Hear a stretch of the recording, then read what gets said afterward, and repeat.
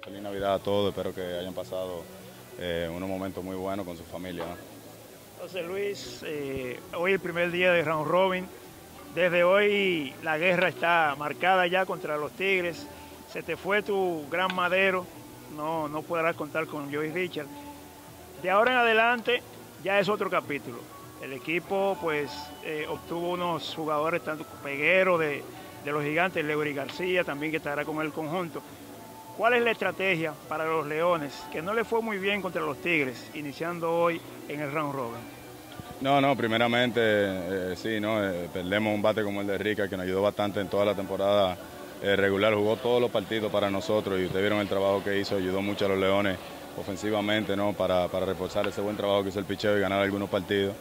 Pero yo pienso que sí, que la escogencia del, de que nosotros hicimos en el draft fue, fue un tremendo trabajo para cubrir esos hoyos que, que quedaron con los importados eh, marchándose del país, porque el mismo Patrick Kiblan hizo tremendo trabajo también en el medio del line y Susugo en parte hizo también buen trabajo, lo que pasa que sufrió algunas lesiones, salió de timing y eso, pero eh, luego terminó jugando los partidos también y, hacía una presencia en el medio del line, teniendo esos, esos tres nombres, el mismo Danny Richard, eh, eh, eh, creo que llenan esos hoyos que a nosotros nos hacen falta ahora mismo desde el punto de vista ofensivo.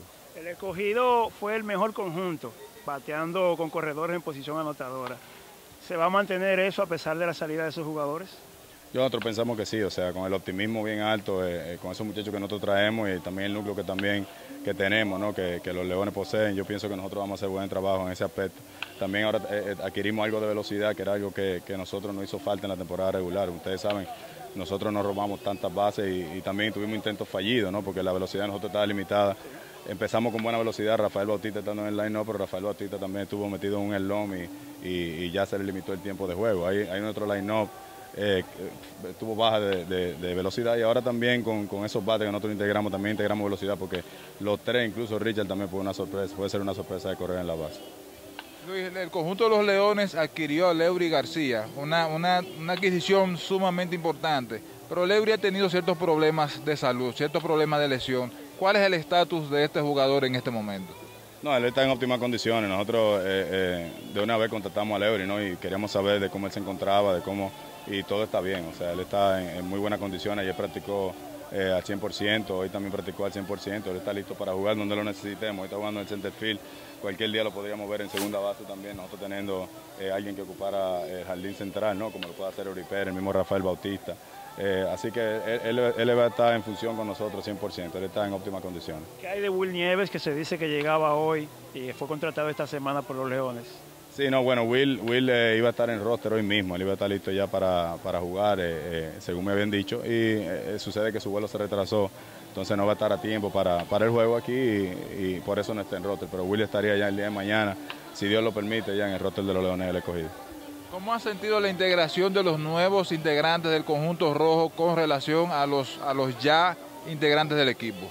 No, es excepcional. Eh, esos muchachos eh, son ya de esta liga, ¿no? Eh, todos se conocen, han jugado mucho con, con, ellos, han sido compañeros de equipo. Tenemos a Jimmy Paredes, que ha sido compañero de equipo de tres de ellos.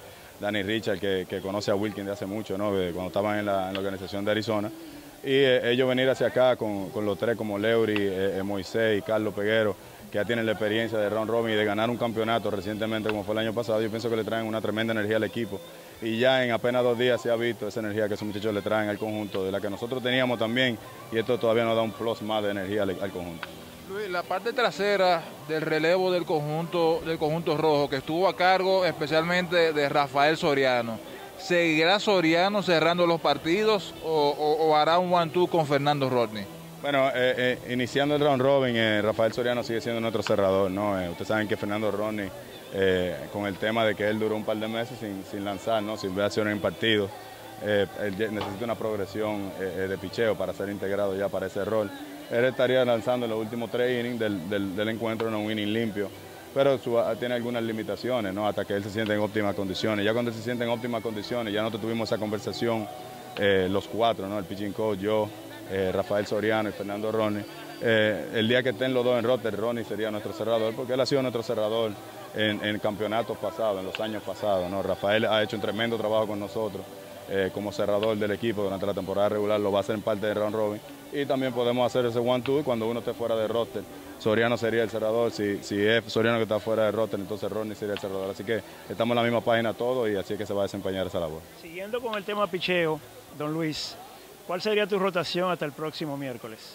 Sí, hoy, como ustedes saben, eh, eh es nuestro abridor hoy, eh, Villa lanzaría mañana. Mortensen el próximo día y el último juego de la semana lo estaría pichando Carlos Pimentel abriendo. Eh, ¿Crees que los Leones llenaron todos los espacios, esos huecos que tuvieron en la serie regular? ¿Tú crees que para el round robin los Leones tienen todas las garras? Sí, sí, no, yo pienso que vamos a, empezar como queremos, ¿no? De lo, que hablé al principio, ya lo dije, que el hecho de marcharse los jugadores importados que nos reforzaron, de verdad, nos ayudaron bastante. Eso es lo que nosotros queríamos cubrir para, recibir ese respaldo ofensivo que necesitamos. Eh, un cuarto bate como lo es Carlos Peguero, ¿no? Eh, Moisés Sierra que puede batear de tercero, de quinto, que da profundidad en el medio del line, ¿no? el mismo Danny Richard que que era quizá el primera base disponible, ya que quedaba nosotros haciendo nos falta un primera base. Saben que Ale Valdés tiene alguna molestia física ahora mismo y tuvimos que coger a Dani ahí, ¿no? que hizo tremendo trabajo ofensivo este año en la liga también. Y también va a reforzarnos ahí en el medio del line. ¿no? O sea, hoy está bateando Sierra tercero, Carlos Peguero cuarto y Dani Richard quinto. Y el mismo Leo, García hoy no está reforzando el primer bate, que es algo que yo pienso que no tuvimos en la temporada entera.